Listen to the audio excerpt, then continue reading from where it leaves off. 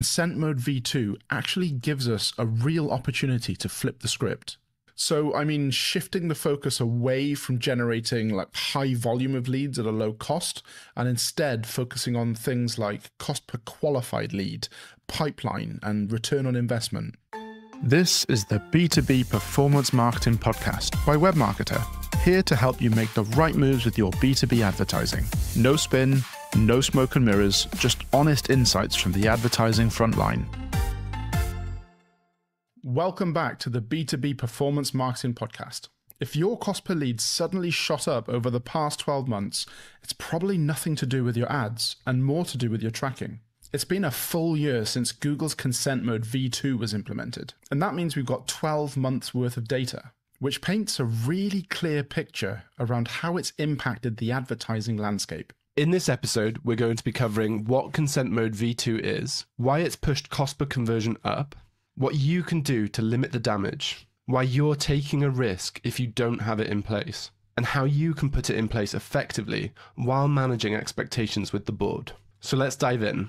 I guess the first thing to clarify is what Google Consent Mode V2 actually is, other than a bit of a mouthful. Because if you Google it, you're going to find two different things being talked about. The first one is a bit more technical because actually Google Consent Mode v2 is an upgrade to the way that Google handles cookie consent. But when it was announced, it came with a deadline to be implemented by.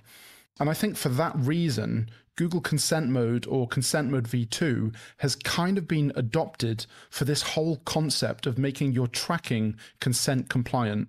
And it's this second definition, really, that we're going to be talking about today. And just a thought here if you're wondering whether your Google Ads are consent mode compliant, let's quickly cover off how you can check. First step go ahead and open up Google Ads in your browser. Click Goals in the nav bar down the left hand side, then just under the headline where it says Summary, you're going to see two different tabs here Goals and Diagnostics. Go ahead and click into Diagnostics if you've set up consent mode v2 here, you're going to see a pane that says your consent mode is active. Yeah, that's great thinking, Maelien.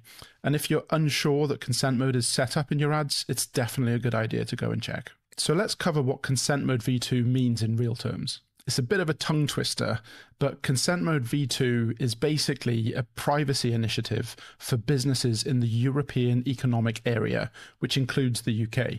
It came with a deadline to be implemented by March 2024. And by that deadline, businesses needed to make sure that when a visitor to their website consented to cookies, that consent was passed back to Google as permission to process their data. And by processing the data, I mean counting conversions and building remarketing audiences, things like that. And as you've probably figured out, all of this consent is controlled by the cookie banner on your website. If a user consents Google can process that data.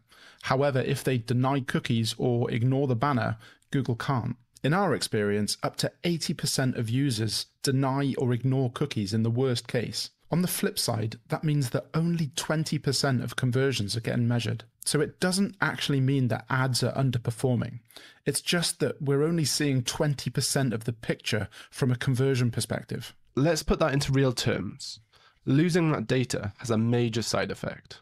It makes the cost per conversion of ads go up exponentially as soon as you put consent mode on. And we know firsthand that this has put so much pressure on a lot of marketers. Everybody trusts numbers since they're objective. But now these numbers are subjective since they're not painting the full picture anymore. So let's dive into how this all stacks up. Both spend and clicks are fully tracked since they happen in Google. But conversions aren't since they happen on your website and Google doesn't own your website and it needs this consent in order to track them. Before any consent based tracking, Google was able to track almost all of the conversions that happened on your site.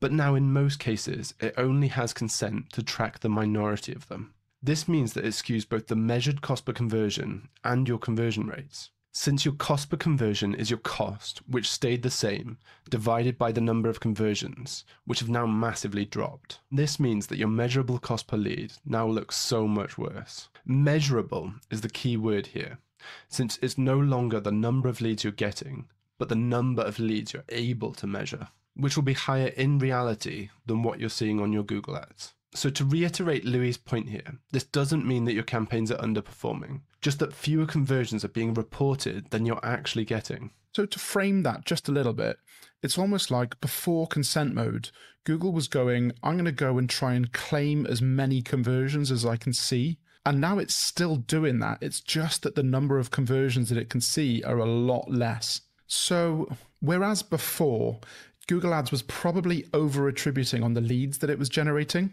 and now it's very much under reporting, or that's what we're seeing with our clients anyway. So let's dive in and see what we can do about it. The first step here is going to be making sure we can get as much consent data as we possibly can. And lots of data is simply lost by people ignoring your cookie banner. Where we often see this as a big issue is where there's a tiny banner hiding in the top, the bottom, or the corner of the screen. So if you're thinking, yeah, that's exactly what they're like on our website, then this definitely applies to you. So let's cover how to fix this. Here, you should be using a full screen takeover banner that forces people to make a decision to either consent or deny the cookies, since they're not going to be able to access the website before they do one of these things. Now, even if people deny your cookies, they should still be able to access your website. And please don't add in so much information to the banner that it physically scares people away. Keep it brief and to the point with an option to read more. The goal here is to make sure that people choose one way or another to consent or to deny. Don't let ignore be an option. Now, this next bit is something that I usually use Google Tag Manager for, but I'm not sure if this is the right place to go into heavy technical detail, so we'll keep it top line for now. But if you would like the detail in a future episode, you can pop a request through on our website at webmarketeruk.com forward slash topic. So Maelien just ran through some of our top tips on gathering as much consent as possible. The next step, which is just as important, is to make sure that that consent is being passed back to Google. Now and again, I see businesses that completely stop Google Tag Manager from loading until consent is granted. Now, that is probably an option, but it's also probably the most nuclear one. You can stop tags from firing within Google Tag Manager based on whether or not they've granted consent, and that's the approach that I'd recommend doing here. You just need to make sure that your tags are configured to capture that consent and send it back. It's also really strongly recommended to set up enhanced conversions in your Google Ads, but that's a big subject and we'll dive into that in the future. Yeah, that's a good shout. This is already becoming a beefy topic, and that's coming from a vegetarian. So, another recommendation here is to figure out exactly how much data that you're losing from your cookie banner. At the top of the episode, we mentioned that up to 80% of your conversions might be going untracked. The actual percentage here is different for everyone, so here's how you can go in and work out what that percentage is for you. Consent management platforms, or CMPs, are the things that create the cookie banners and pass consent to Google. Now, lots of CMPs will show you how many people visited your website, and in some cases, it'll even show you the number of people that accepted or denied cookies. But for the CMPs that don't give you that data, you want to take the number of visitors that you can see in Google Analytics and then divide that by the number of visits it's showing in your CMP. This will give you the actual percentage of visitors that you're able to measure. Okay, so full disclosure, we hit a few technical snags and we're having to re record this last little bit. So if you're watching the video version of the podcast, you'll probably notice an outfit change as well as a location change for Maelien, uh, but just to explain that for you. So, uh, so yeah, Maelien, as you were. Now, following on from what past Maelien said here, while this is far from a perfect science, you can use this to illustrate the situation to your board. That's great. Thanks for clarifying there, future Maelien. The final recommendation that we have follows on from what we discussed last episode. You want to make sure that you've got everything that you need set up so that you can identify those leads from your Google Ads in your CRM. At the moment, we're seeing a lot more leads from Google Ads in the actual CRM than on the ads platform itself. So, without doing this, you're at a real risk of undercounting the number of leads generated from your ads. And to stay on that point a little bit, Consent Mode V2 actually gives us a real opportunity to flip the script. So, I mean, shifting the focus away from generating like high volume of leads at a low cost and instead focusing on things like cost per qualified lead, pipeline, and return on investment. Absolutely. That is such an important point. Now, as promised, we're going to cover why you're taking a risk if you haven't already put this in place and how you can put it in place effectively while also managing expectations with the board. Now, on the plus side, if you haven't got Consent Mode V2 set up just yet, then you probably haven't experienced this increase in cost per lead that we've been talking about. On the negative side, Google Ads is actively spot checking accounts, and where it spots that consent mode isn't in place, then it's just disabling them. And recovering disabled ad accounts can be a royal pain in the backside. So, our advice here, if you're already advertising in the European Economic Area, is to get this sorted as soon as possible. That's great. Thanks, Maelien.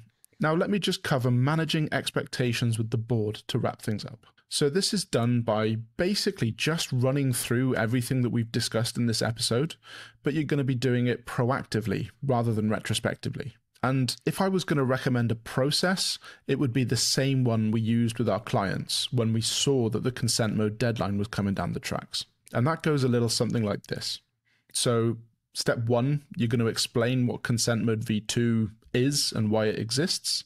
Step two, you're going to want to explain the risks of not getting it implemented, a la disabled Google Ads account. Step three is that you want to manage expectations that your cost per lead will increase because you're not going to be able to measure as many. Step four is all of the recommendations that you need to look at, which is improving your cookie banner, improving your Google Tag Manager setup, improving your CRM integration, and also exploring getting enhanced conversions in place. And then finally, step five, which is optional but recommended, is that you're going to monitor the percentage of traffic that you're losing through denied or ignored cookies. And I think that's a great recap to end on. We're on a mission to remove the smoke and mirrors from the B2B advertising world. So if you found this useful, please leave us a review. It's incredibly helpful for us. If you've got a burning question or a challenge that you're facing at the moment, you can actually request a topic for the podcast just head to webmarketeruk.com forward slash topic and send us a message. We read every single one. So, from the both of us, thanks so much for listening, and we'll look forward to catching you on the next episode.